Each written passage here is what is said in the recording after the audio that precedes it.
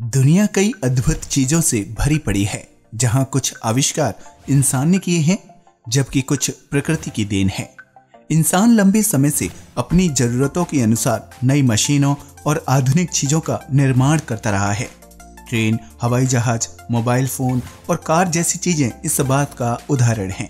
रोज़मर्रा की ज़िंदगी में बढ़ती टेक्नोलॉजी के उपयोग ने हमें इन चीज़ों का आदि बना दिया है।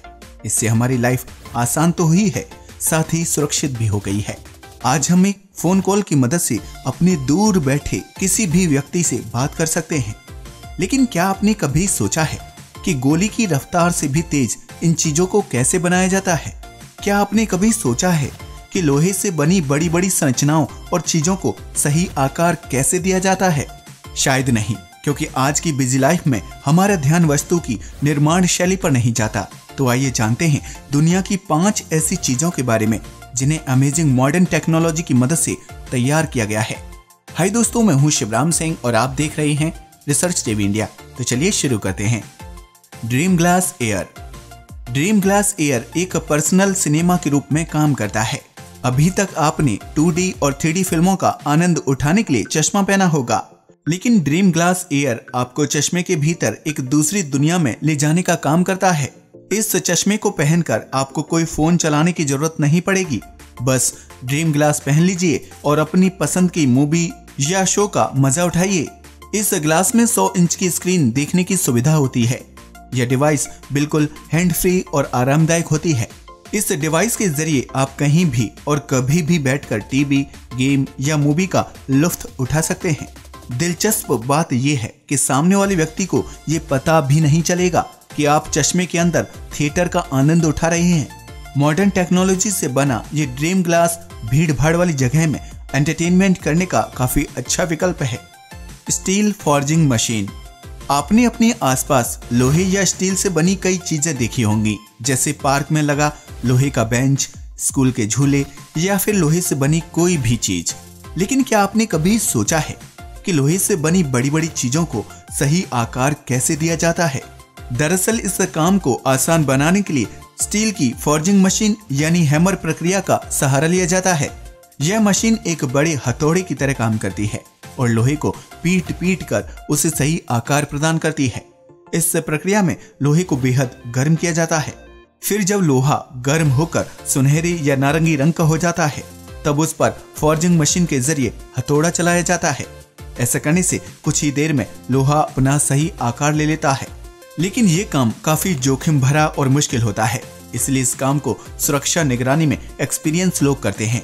फॉर्जिंग प्रक्रिया के दौरान लोहा इतना गर्म और चमकदार होता है कि उसकी रोशनी से आपकी आँखें खराब हो सकती हैं। इसलिए इस काम को करने वाले लोगों को सुरक्षा के लिहाज से कपड़े, जूते और चश्मे दिए जाते हैं। Arkup house. आपने ज़मीन पर तो बहुत सारे घर देखे होंगे और उनमें से ही किसी एक घर में आप रहते भी होंगे। लेकिन क्या आपने कभी पानी में तैरते हुए घर की सैर की है? जी हाँ पानी में चलने फिरने वाला ये घर मॉडर्न टेक्नोलॉजी का ही एक नमूना है। ये हाउस बोट अपने आप में बेहद अद्भुत है। मियामी में मौजूद इस हाउस बोट में लिविंग रूम चार बेडरूम रसोई, छत और बालकनी का एक बड़ा हिस्सा मौजूद है। आप इसमें रहते हुए पानी की सैर कर सकते हैं और आपको कहीं जाने के लिए घर छोड़कर जाने की भी ज़रूरत नहीं पड़ेगी। अरकूप हाउस में रहने के लिए बुकिंग की सुविधा उपलब्ध है। इसे नेक्स्ट जनरेशन फ्लोटिंग हाउस के नाम से भी जाना जाता है। इस हाउस बोट को बनाने का मकसद लोगों को पानी के बीच लग्जरी घर का एहसास देना है। साथ ही ये बाढ़ और तूफ़ान जैसी मुसीबतों को झेलने की ताकत रखता है।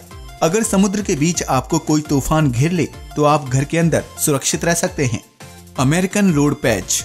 आपने सड़क पर बड़े बड़े गड्ढे तो ज़रूर देखे होंगे, जिसकी वजह से कई बार भयानक एक्सीडेंट भी हो जाते हैं।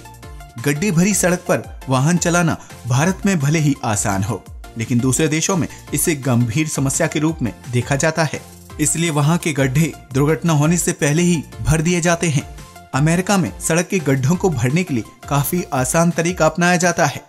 यहाँ रोड पैच यानी एक तरह की शीट को बिछाकर गड्ढे तुरंत गायब कर दिए जाते हैं। इस प्रक्रिया में ज़्यादा समय नहीं लगता और कोई दुर्घटना भी नहीं होती।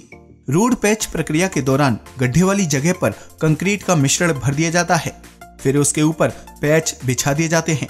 ऐसा करने से टाइम और पैसे दोनों की बचत होती है और साथ ही यातायात भी प्रभावित नहीं होता। अमेरिका की इस टेक्नोलॉजी को भारत में भी ट्राई करना चाहिए। क्या पता आप और हम रोज़ाना की जाम से कुछ हद तक निजात पाले एंडलेस पूल इसके नाम से ही आप समझ गए होंगे कि ये पूल कभी खत्म नहीं होता, लेकिन ऐसा नहीं है। दरअसल इस स्विमिंग पूल को इस तरह से डिज़ाइन किया गया है कि तैराकी कर रहे व्यक्ति को ऐसा लगता है कि पूल का कोई आखिरी छोर है ही नहीं। मॉडर्न टेक्नोलॉजी से बना ये अमेजिंग स्विमिंग पूल आपको एक साथ दो फ़ायदे देता है। इसके अंदर आप एक्सरसाइज कर सकते हैं। जबकि दूसरी तरफ़ लग्जरी स्विमिंग बाथ का लुत्फ उठा सकते हैं। एंडलेस पूल का साइज़ काफ़ी नॉर्मल होता है और ये घर के किसी कोने या बगीचे में आसानी से फिट हो सकता है। इस पूल के आविष्कार से लोगों ने पुराने और विशाल स्विमिंग पूल्स का निर्माण करना काफ़ी कम कर दिया है। ज़्यादातर घरों में बच्चे और बड़े इसी पुल का आनंद उठाते हैं। तो ये थी दुनिया में इस्तेमाल हो रही कुछ अद्भुत और फास्ट टेक्नोलॉजी जिसने इंसानी जीवन को काफ़ी हद तक आसान और सुविधाजनक बना दिया है। इनमें से आपको कौन सी मशीन सबसे ज़्यादा पसंद आई, हमें कमेंट बॉक्स में ज़रूर बताएँ। आज के लिए बस इतना ही। वीडियो पसंद आया हो तो इसे लाइक और शेयर करें। साथ ही चैनल को भी सब्सक्राइब करें। जय हिंद दोस्तों।